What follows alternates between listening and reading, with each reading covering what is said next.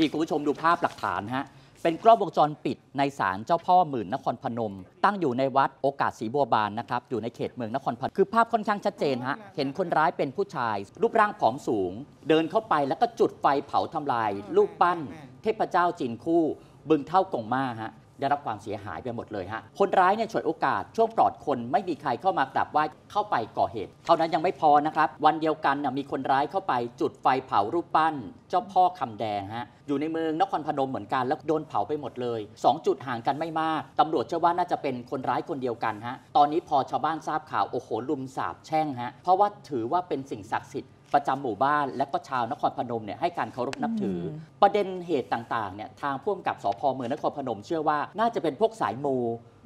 ชอบลองของพวกอวิชชาต่างๆ หรืออาจจะเป็นพวกมือดี พวกโรคจิตไปสร้างกระแสปวนเมืองต่าง ๆ ตอนนี้เดี๋ยวจะเร่งติดตามคนร้ายมาดำเนินคดีนะครับ